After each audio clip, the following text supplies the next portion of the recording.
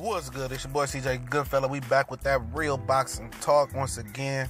Afternoon grind and Leonard Ellerbe um, just erupts, you know, like a volcano today when, you know, keep getting asked and badgered about, you know, the Mayweather McGregor not being a sellout. And um, you know, he said they already, you know, doubled the live gate that uh that uh Oscar's boy Canelo Alvarez and Triple G has uh, doubled. And um that's dead. You know, he said they did about if he said you know Mayweather McGregor live gate is 60, 60 million right now in cash revenue, I would guess. So Canelo Alvarez has to be somewhere around, and Triple G has to be somewhere around 30 million. And he just went the fuck off about that shit. He said everybody has to accommodate, you know, for the event. You know, he said CEOs and you know people got to, you know, take them a long time to get, you know, plans in place for them to uh, make the trip for the event. Because I heard uh, even Donald Trump wants to come to the event, and um, you know how that go. So if people like Donald Trump gonna come and spend their money, even though we know he got money, it's gonna be a lot of more prominent people in the building.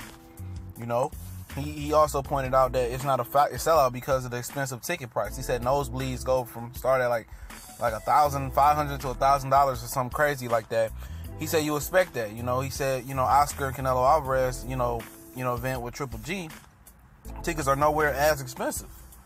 He said, and you know, to keep it frank and keep it 100, um, Leonard Ellerbe said, you know, Oscar lied to the public. He said Triple G and Canelo Alvarez is not a sellout, and one of the media people, I believe, there confirmed that. You know, he said that Oscar De La Hoya's Golden Boy, Canelo, and Triple G is not officially a sellout. He said it has thousands of tickets still left he said that um he said that fight's a great fight.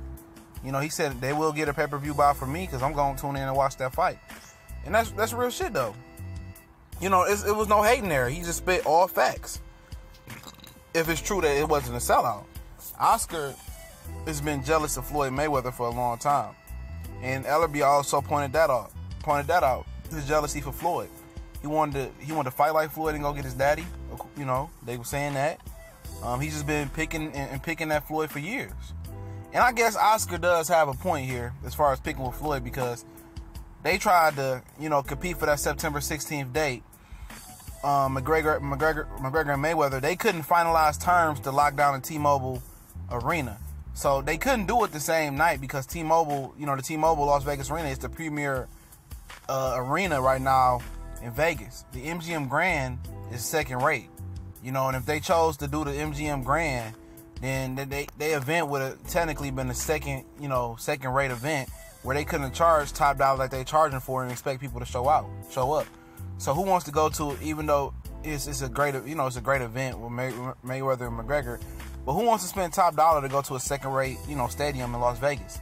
And why it was so important for Oscar to lock down Vegas as the location after I did a few videos on it already, but it's been a while was because that's that's the fight capital of the world. That's why all the A-listers want to go to watch fights.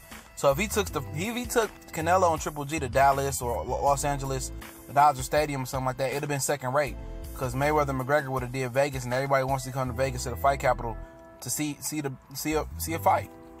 So he would have been doing himself a disservice there as well.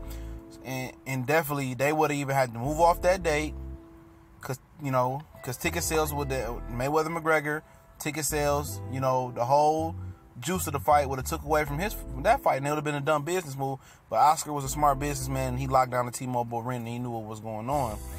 And um, but yeah, you know, I guess he, he Oscar has a right to be mad because Floyd tried to bump them off that date, knowing that's Canelo Alvarez date. Now tried to cast a shadow and tried to shit on them one last time. But he could have went about it differently. You know, going through the media, sound like a, a, a woman with a lot of built up hatred going on ESPN, writing open letters to the fans, telling them not to support the fight. You know, and the main ones that's gonna be buying the fight is the MMA fans. They the ones that gonna spend a hundred dollars. You know, if I do, you know, participate in the festivities at the last minute, you know how us boxing fans get, we ain't buying that shit, we ain't buying that shit. Last minute, you know, you cave and buy that shit. Ha- happens all the time. You know, every hardcore boxing person always do it. Like I told y'all, Rod Soccer, Danny Garcia almost did a million on, on, on Showtime. So y'all say y'all weren't watching it, somebody was watching it, but um, yeah, I might do the movies. I think it's like 30, 40 bucks. I mean, that's if I do it. Um, I did Mayweather Berto after I talked shit about that fight, you know. open confession, but I enjoyed it. The undercard was amazing on the big screen.